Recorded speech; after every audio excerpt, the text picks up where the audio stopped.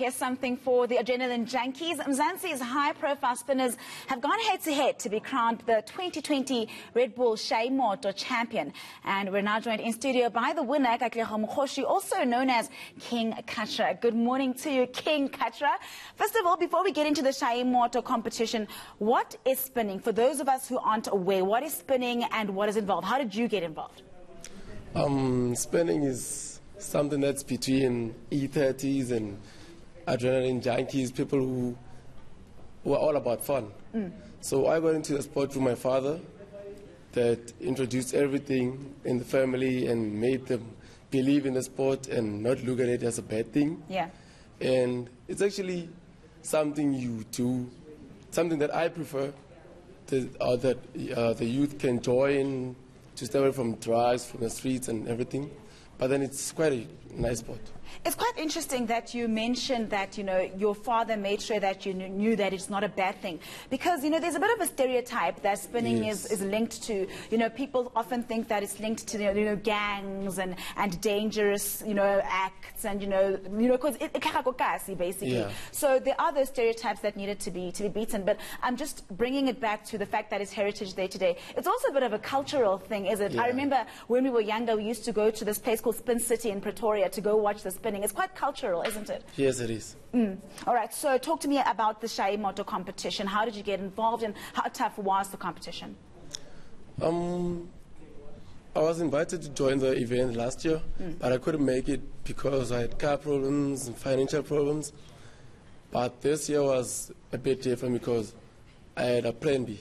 So I joined through Viparal and everything went smooth and we had like practice sessions the whole week before Saturday. Yeah.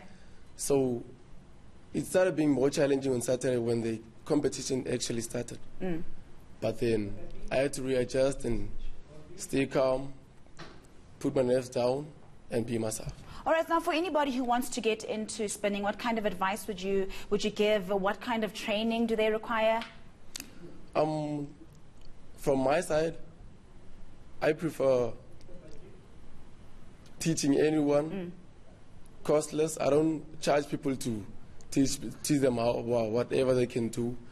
If you're able to do it, come to me anytime. You just need a spin car. I can teach you anything for advice. It's not a bad thing. Yeah. If you're thinking of joining the sport, it's a good idea. Yeah. So yeah, if ever you want advice, catch me on Instagram on King Katra, mm-hmm. Katra on Facebook, and for anything you need to know about spinning, touch me. All right, this is a very cool trophy. I have to say, I haven't seen a trophy that looks this cool in a very long time. It's an entire tire complete with the rims. What is next for you? I know that, you know, there's been a bit of a inactivity because of COVID-19, but now the Shay' iMoto competition is out of the way. You are the 2020 champion. What's next?